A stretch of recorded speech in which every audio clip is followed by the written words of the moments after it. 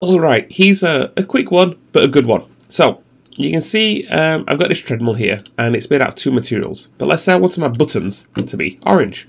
Well, that's not going to work, because I've only got two materials here.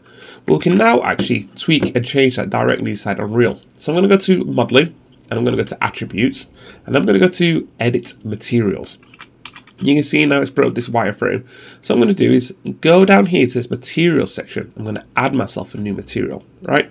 And that's going to be this new red one. Make sure I select I want to work in this orange. And I'm just going to click the points. It's actually doing quite a decent job of this. But let's say, for example, this sort of part in the middle. Well, it's not done uh, a very good job there. We could shrink it down. There's a brush size up here. And I could sort of paint those in. Um, there's also more options here as well, like grow or shrink, grow or shrink, um, or lift up.